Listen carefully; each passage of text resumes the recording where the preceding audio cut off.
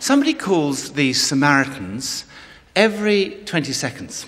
The Samaritans is a telephone hotline uh, which helps and supports people who are uh, despairing or even suicidal. It was founded by a man called Chad Varah. And I read recently the story of how he came to found it. What happened was that he was the vicar of a, a very busy parish uh, near Clapham Junction. And he had this idea of a telephone hotline. But he thought he wasn't the right person because he was so busy. So he said to the Lord, Lord, it's a great idea, but I'm not the person to do this.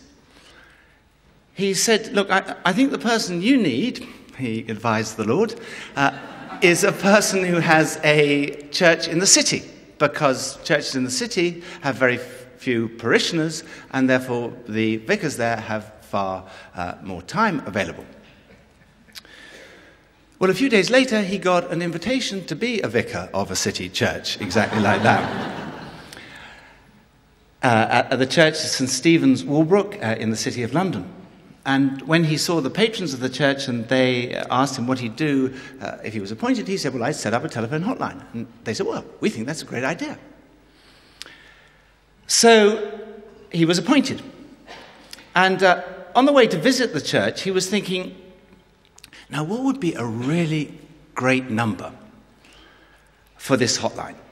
He wanted something that would give a kind of sense of urgency and something that could be easily memorized. And he knew because it, it was some time ago that the, the first three would be letters. So, as it was Mansion House, the first three would be MAN. And then he thought, well, what could the rest be to give it a hint of emergency? Uh, something like 999. He thought, well, perhaps the perfect number, which would be easily memorable and give a, a, a hint of emergency, would be man 9000. So when he got to the uh, church, he fa- actually found the telephone was buried under a whole lot of rubble in the vestry, and he got it out and he dialed the operator and he tried to persuade her to give him this number, man 9000. Uh, and he said, Would it be possible for you to change it to that? And she said, It's most unlikely, since nobody having such a good number would be willing to change it for love or money. Well, he said he had no money, but he had plenty of love. And could he please be informed of who it was so he could contact them? And the operator said, Well, where are you calling from? So uh, he licked his thumb like that and wiped the middle of the dial, and there he saw man 9000. Don't worry, he said to the operator, I've got it already. and then he said, I address God. Very well, I get the message. You had it waiting for me since the telephone was installed. Now please stop because it's getting eerie. Not all guidance is as clear cut as that. But all of us have to make decisions about what we do with our lives our life work, our life partners, children, use of time, where we live, money, as well as the kind of day to day decisions we all face. And discerning the will of God can be uh, quite a tricky business.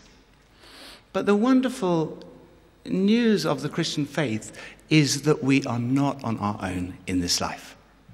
And guidance is all about this relationship with God. Would you like to turn to John chapter 10, verse 27? Jesus says this My sheep listen to my voice. I know them, and they follow me. Jesus used this figure of speech, a shepherd with his sheep, to talk about this intimate relationship that he wants to have with us. He knows us. He wants to guide us. And He has a wonderful purpose for your life and for my life. Verse 10 Jesus says, I came that you might have life and have it to the full. And in verse 15, he says, I lay down my life for the sheep. That's how much God loves you, how much Jesus loves you. He wants the very, very best. St. Paul says that God's purpose for our lives is good and pleasing and perfect. And in order to find out what it is, we need to consult him. My sheep listen. We need to ask him, What do you want me to do? Whom will God guide? He'll guide those who are willing to do what he wants. His, Jesus says, They will follow me, those who are willing to follow him. Our attitude should be like Mary, the mother of Jesus, who uh, was such a wonderful example in so many areas. But in this area, she said, I'm the Lord's servant. I'm willing to do whatever He wants. That's freedom.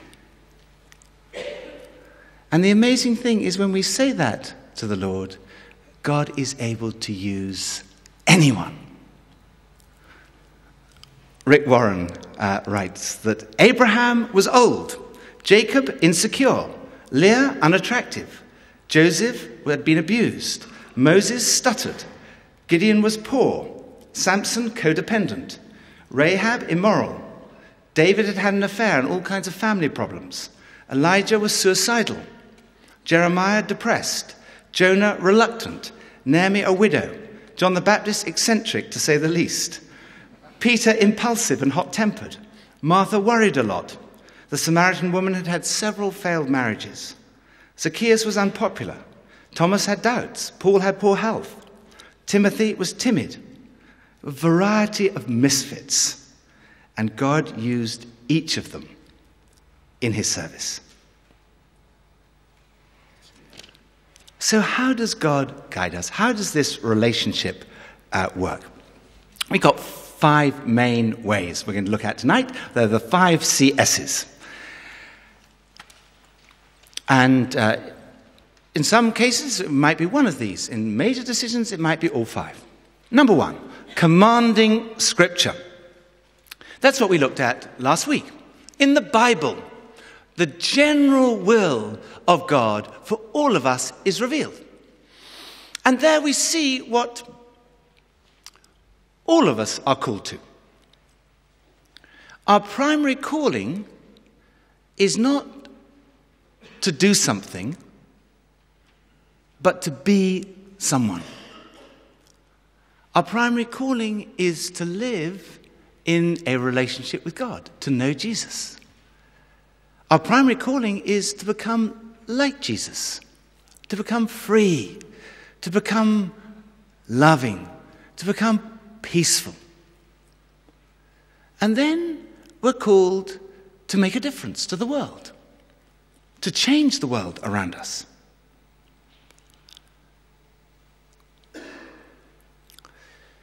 We saw last week that God has spoken on a whole range of issues. So there's some things where we really don't need specific guidance because it's absolutely clear from this book what his will is. He's spoken about marriage and family life and work and money and children and all kinds of things. We know, for example, that marriage is for life. So if you're a married man here tonight and you see a very attractive uh, woman the other side of the room, and you're thinking, hmm, I wonder whether God is calling me to leave my wife and go off with that very attractive woman the other side of the room? The answer is no, he's not.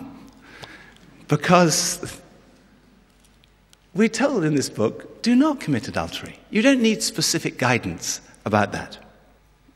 You don't need to ask every year, should I pay my taxes this year or not? Because it says, pay your taxes. Uh, I came across this letter that was written to to the Inland Revenue by someone who'd just become a Christian. He wrote, Dear Sir, I have just become a Christian and I have found that I cannot sleep at night. So here is a hundred pounds that I owe you. P.S. If I still can't sleep, I'll send you the rest.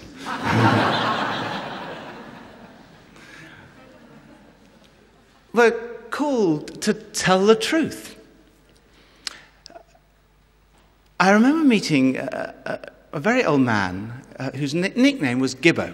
actually, his grandson was on the last course. Uh, uh and Gibbo told me this story. He said he used to work as a clerk for Selfridges, and he worked with Gordon Selfridge, who started Selfridges. And one time, the telephone rang, uh, and he picked it up, and the person said, Could I speak to Gordon Selfridge? And Gordon Selfridge was in the room, uh, and uh, so he called him, uh, and Gordon Selfridge said, Tell him I'm out.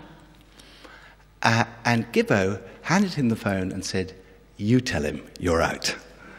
And Gordon Selfridge apparently was absolutely furious. But Gibbo said to him, He said, Look, he said, if I can lie for you, I can lie to you, and I never will. And that moment transformed Gibbo's career at Selfridges. Because from that moment onwards, when they needed someone they could trust, they always went to him. So, God's general will is revealed in this book. But this won't tell us which job we should do or, how much we should give. But sometimes, as we read this book, because as we saw last week, not, not only has God breathed through this book, He still breathes, He still speaks through it. And sometimes He'll bring to light a particular verse as we're reading, something will come to light. Some people have been guided by kind of opening the Bible at random and pointing to a, a particular verse. But it, it, it wouldn't be good to make a habit of it because it could expose us sooner or later to unhappy consequences. I heard of one man who uh, tried this. He said, uh, Lord, he said, uh, what shall I do? And he uh, opened his Bible at random and he happened to land on Matthew 27, verse 5, which says, Then Judas went and hanged himself. So he thought, oh dear, better try this again. And he went to Luke 10, 37, Go and do thou likewise. he thought, oh dear. So he went to John 13, 27, which says, What you're about to do, do quickly. so that's not really a great idea in the long term. But if we have a kind of regular, and this is what I would recommend to you, a kind of regular, methodical uh, reading of the Bible each day, it's always amazing to me how appropriate each day's reading is. God feeds us, and He also speaks to us and guides us. I'd been practicing as a lawyer for, for some years, and I, I, I sensed that God was calling uh, us to ordination in the Church of England. And Pippa and I went off for a weekend together to pray. And during this weekend, I wrote down all the ways in which God had been guiding us on this little piece of paper. And the first thing that I wrote down was the ways in which he had guided us through the Bible. And there were 15 different occasions where we had sensed God speaking to us through this book.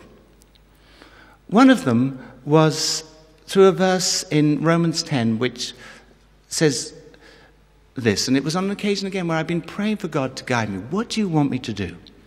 And the, the verse says, How can they believe in the one of whom they have not heard? And how can they hear without someone preaching to them? In other words, telling them. And I wondered whether that was God calling me.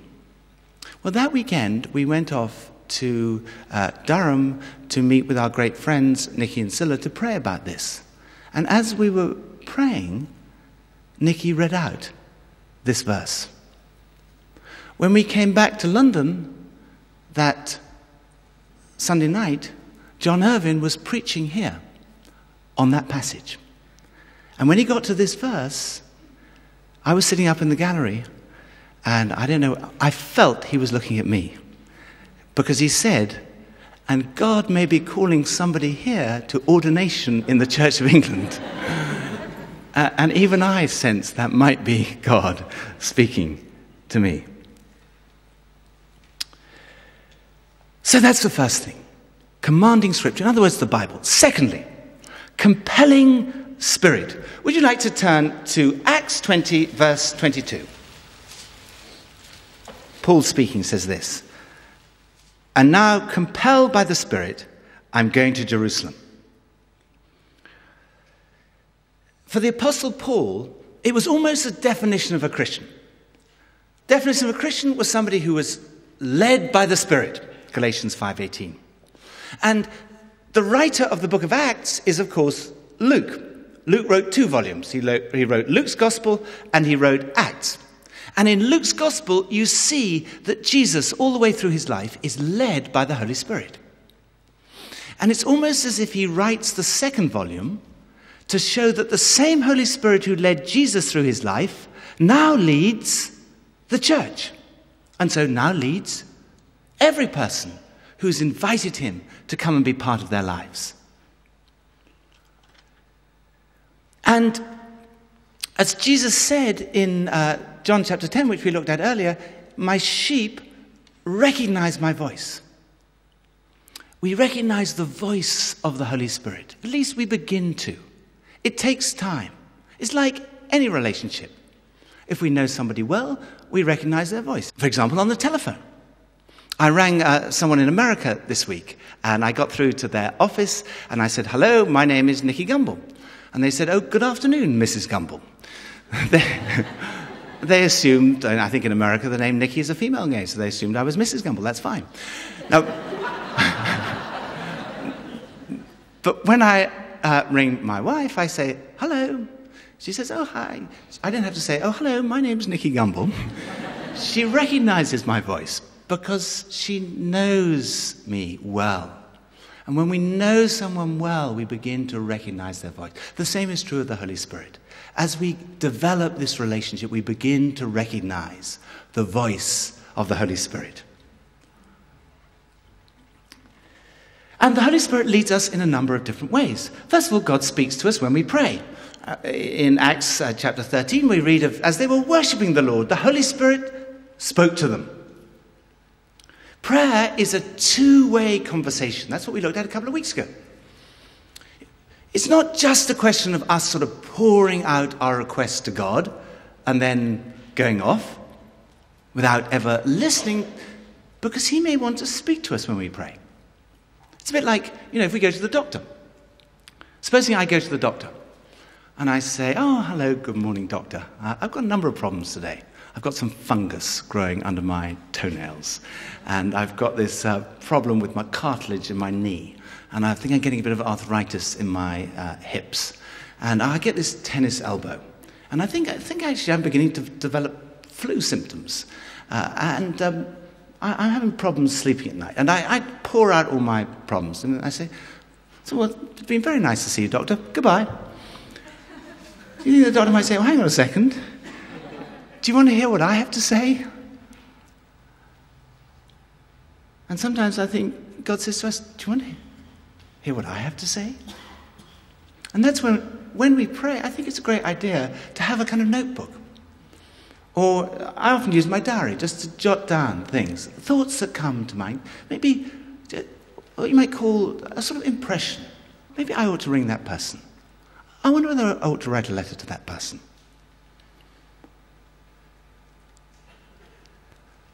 So God speaks when we pray. God also sometimes speaks uh, through giving us a strong desire to do something. In Philippians uh, 2, verse 13, St. Paul says that God works in you to will and to act according to his good purpose. In other words, if God calls you to do something, he will also give you the desire to do that, if you yield yourself to Him. I read about a man called Dr. Paul Brand who was visiting a, a leprosy sanatorium near Madras. And he was being shown around by a man called Dr. Cochrane. And as they were being shown around the hospital, there were patients there who were squatting, uh, stumping along on bandaged feet, following with their unseeing, deformed faces. And uh, Dr. Paul Brand said this Hands waved at me, stretching out in greeting. They were twisted, gnarled, ulcerated stumps, Some were stiff like metal claws, some missing fingers, some hands were missing altogether. Finally, I could restrain myself no longer. How did they get this way? What do you do about them? Dr. Cochrane said he didn't know. He said he was a skin man. He could only treat that part of the leprosy. He turned to me and he said, You're the bone man, you're the orthopedic surgeon. And he went on to tell me that not one orthopedic surgeon had yet studied the deformities of the 15 million leprosy victims in the world. As they were passing, a young person who had leprosy put out his hand so that he could take his hand. And Paul Brand said to him, Squeeze my hand as hard as you can. To my amazement, he says, instead of a weak twitch I'd expected to feel, this sharp and intense pain raced through my palm. His grip was like a vice, with fingers digging into my flesh like steel talons. He showed no paralysis. In fact, I cried out for him to let go. I looked up angrily, but was disarmed by the gentle smile on his face. He didn't know he was hurting me. That was the clue. Somewhere in that severely deformed hand were powerfully good muscles. I felt a tingling, as if the whole universe was revolving around me. I knew I had arrived in my place. That single incident in 1947 changed my life. It was my moment. I'd felt a call of the Spirit of God. I was made for that one moment, and I knew that I would have to point my life in a new direction. I've never doubted it since.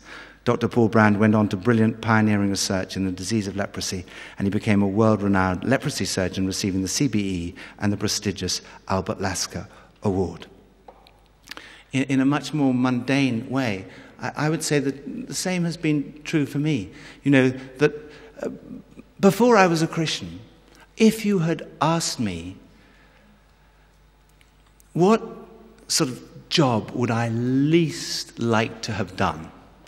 I think I would have probably said being a clergyman in the Church of England. That sounded to me like the most boring thing it was possible to do. But then, when I came to faith in Christ and I said to the Lord, Lord, I'm willing to do anything you want, I found I had this strong desire to do exactly what I'm doing now. And I have to say, you know, I was thinking about it today. I would not want to be doing anything else. I absolutely love my job. I find it the most exciting job in the world. But God has changed my desires. Sometimes He guides us in more unusual ways, sometimes through a prophecy or visions or uh, pictures or angels, or some people hear an audible voice or even dreams. Uh, obviously, in this whole area of being led by the Spirit, we can make mistakes. And certainly, I've made a lot of mistakes in my life because it's not as simple as that. Guidance is a very difficult thing. And sometimes we get it right, and sometimes, certainly, I get it wrong. But there are various tests. St. John says, test the spirits to see whether they're from God. Is it in line with the Bible? Does it promote love? If it, God is love. If it's not a loving idea, then it, it won't come from God. Uh, a test in 1 Corinthians chapter 14 is, is it strengthening, encouraging, comforting? Another test is, do we sense God's peace about the decision? Uh, St. Paul writes, let the peace of Christ rule in your heart. So, the Bible is one way, commanding scripture, the Holy Spirit, compelling spirit. But then a third CS, common sense, if you like, our reason. God has given every human being a conscience. Uh, John Stott writes Although our conscience reflects our upbringing and, and culture and is therefore fallible, nevertheless it remains a guard within us, warning us that there's a difference between right and wrong. I think sometimes think conscience is like a very sharp knife that can be blunted if it's misused and ignored. But if it's used in the right way, it can actually become more sharp. So, God has given us all consciences, but God has also given us minds to think and to reason. And God's promises of guidance are not given to save us the problem of thinking. In fact, thinking and God guiding us often go together. Uh, 2 Timothy 2, verse 7 says effectively this Think over what I'm saying, and the Lord will give you understanding. John Wesley said that the most common way God guided him was by presenting to his mind reasons for acting in a particular way. And uh, I would say that's the main way God guides us in the ordinary, sort of day to day aspects of life. But also in the big decisions, uh, common sense is very important. I mean, for example, the Bible tells us that marriage is the norm. But what this book won't tell you is whom you should marry. It's no good saying, Lord, who should I marry? Oh, Nebuchadnezzar. oh, I don't know any Nebuchadnezzars. How about Ezekiel? I, I heard of one um, uh, Cockney from the East End of London who was not a churchgoer, uh, and he had a real dilemma because he was in love with two very beautiful women, uh, uh and uh, he couldn't decide. One was called Sharon, and she was blonde and very beautiful, and the other was called Maria, and she was a brunette and also very beautiful. Uh, uh, uh, he wasn't a churchgoer, but uh, he, he, was not knowing whether it was Sharon or Maria, Sharon or Maria. He thought, well, I'll go into a church and pray. So he went into a, a, a local Catholic church and he uh, knelt down by the altar and um, he said to the Lord, being a Cockney Eastender, he said, Whom shall I have? And uh, he looked up and he looked at the stained glass window and he saw in gold letters, Ave Maria.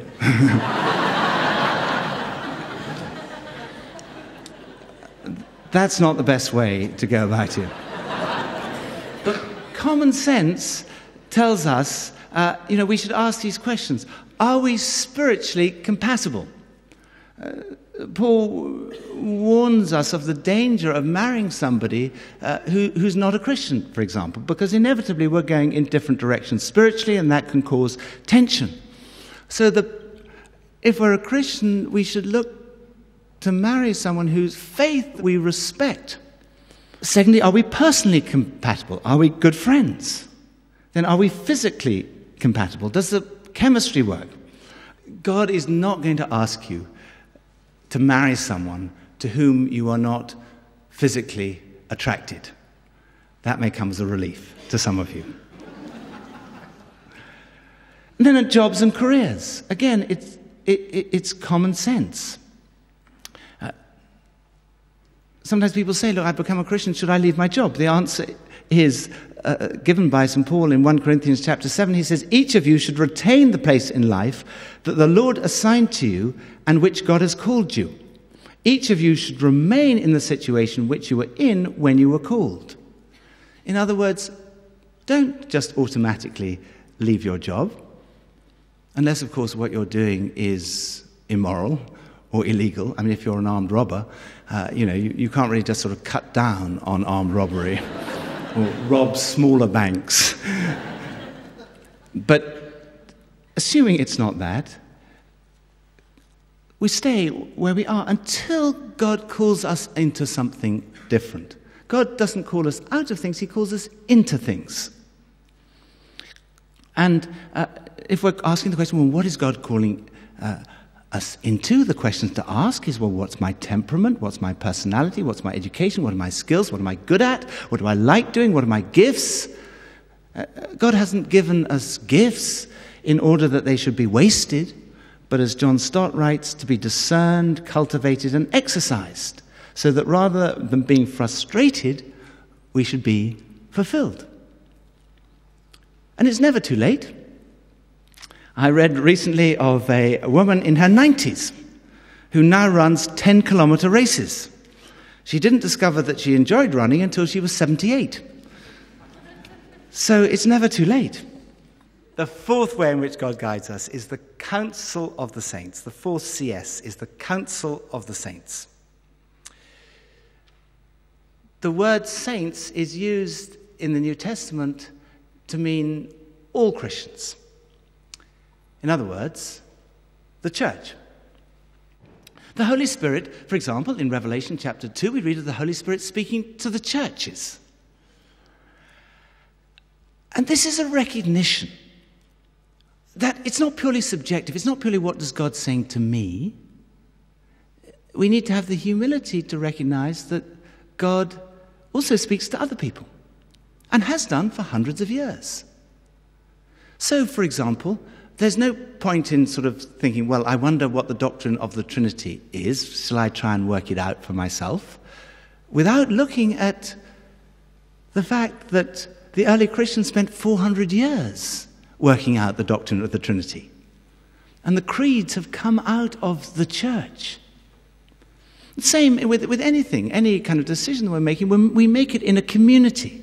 And that's one of the wonderful things to be part of a community of other Christians where we can help one another. Would you like to turn to uh, Proverbs chapter 12, verse 15? The way of fools seem right to them, but the wise listen to advice. Proverbs 15:22 says plans fail for lack of counsel, but with many advisers they succeed. Proverbs 20 verse 18 make plans by seeking advice. And of course we seek advice from friends, uh, but from godly Christian people with wisdom and experience whom we respect. For example, when I was, uh, we were thinking about ordination in the Church of England, I went to Sandy Miller, who's the, the vicar here, for his advice. And he said this to me. He said, Take a long term view. I was practicing as a lawyer at the time. He said, Take a view, long term. Supposing you fulfilled all your hopes as a lawyer. Think down the line, 10 years' time, is that where you want to be? Because if it's not, that raises questions. And then he said, think about ordination in the Church of England. If that all worked out exactly as, as you hoped, is that where you'd want to be? And that was a huge help to me. Because I realized that thinking down the line as a lawyer, it wasn't what I wanted to be, even if I had all my hopes and aspirations had been fulfilled. Whereas the other was what I did want to do.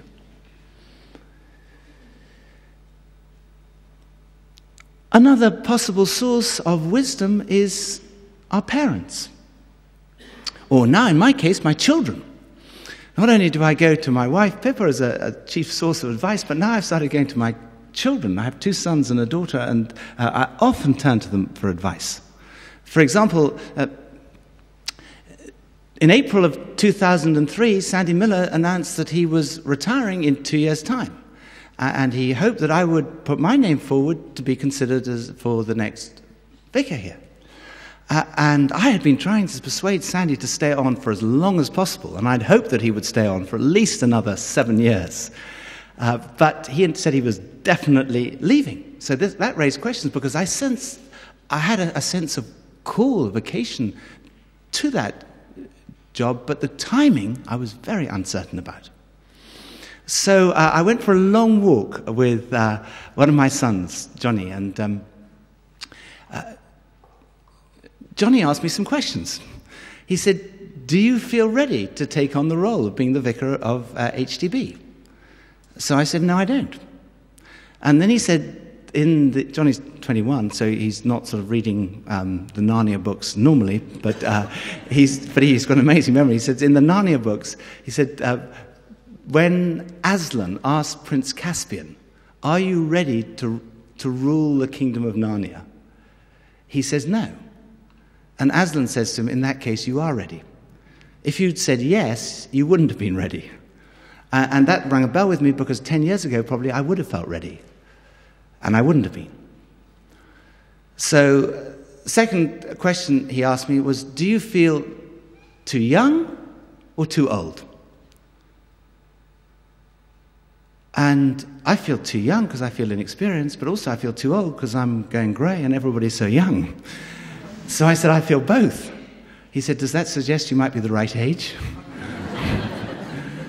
so I said, but Johnny, um, you know, uh, the trouble is, you know, Sandy has always let me, all my ideas, he, he's, he's adopted, we've worked together. So he, I, I said, I didn't think I'd have anything new to offer.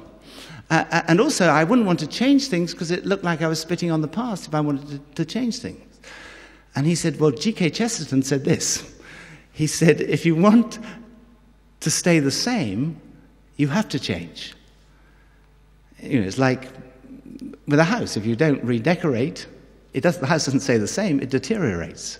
If you want to keep it the same, he said, an HDB should stay the same, but in order to stay the same, it's got to change. And that was just such a huge help to me in coming to a decision. The fifth way in which God guides us, the fifth CS, is circumstantial signs. The providence of God, if you like. God is sovereign. Proverbs 16, verse 9 says, In his heart a person plans their course, but the Lord determines their steps. There's a verse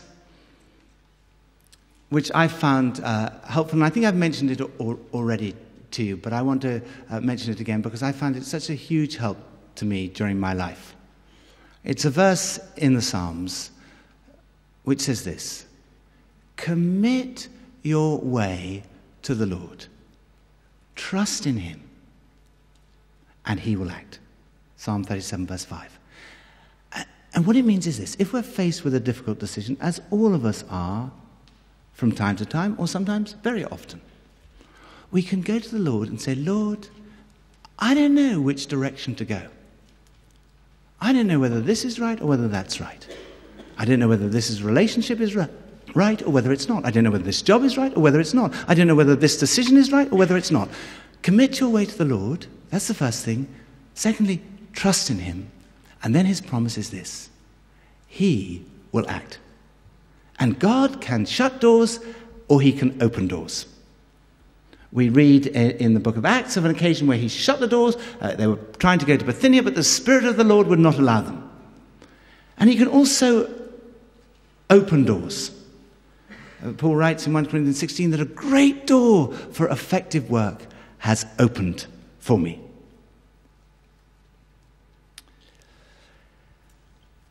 But we have to be willing to say, I trust you with this. I've mentioned Nicky and Sila uh, Lee a number of times because they're probably my closest friends, and it was through Nicky that I, I, I came to faith in Christ.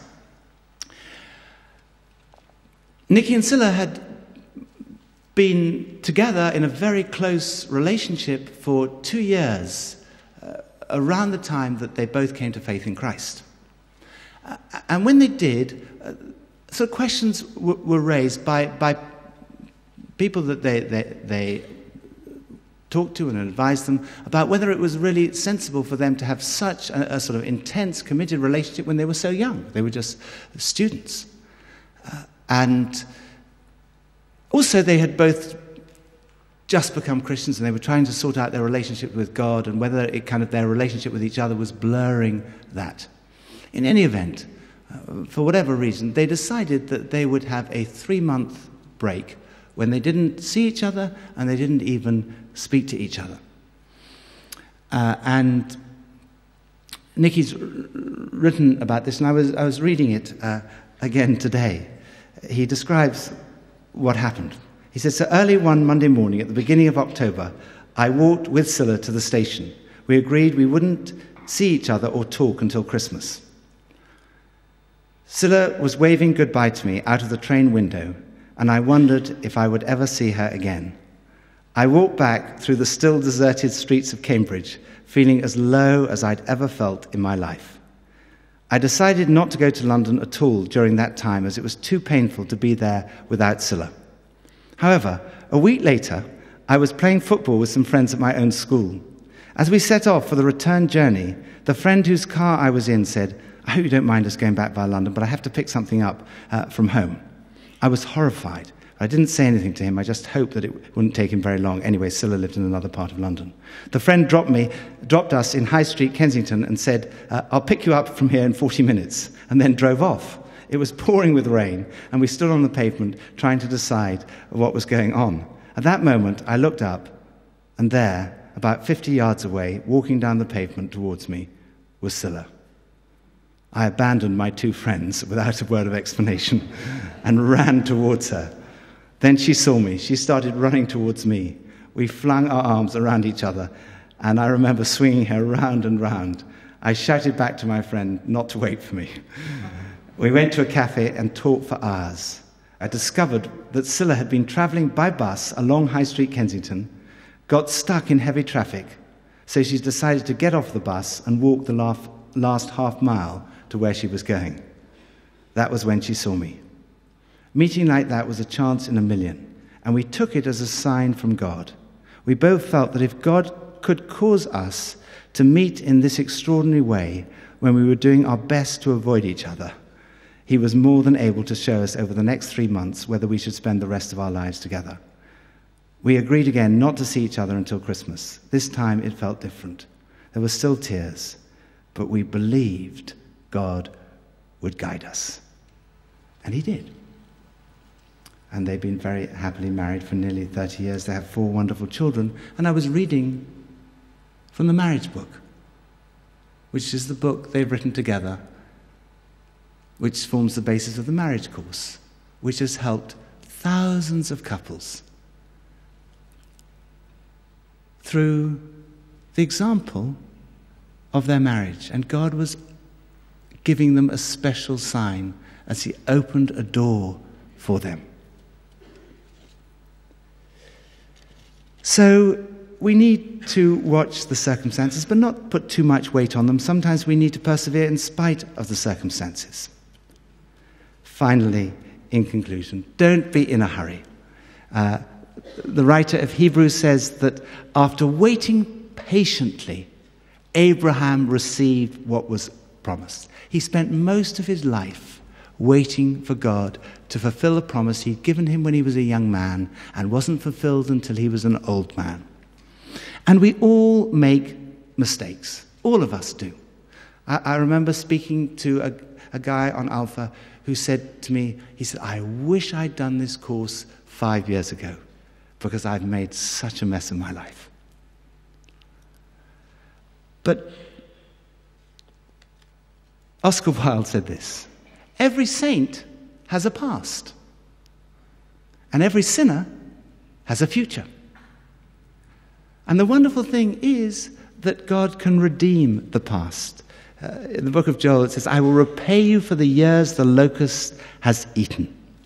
And God can use everything, even our mistakes. Would you like to turn to Romans 8 28? St. Paul writes this And we know that in all things God works for the good of those who love him, who have been called according to his purpose.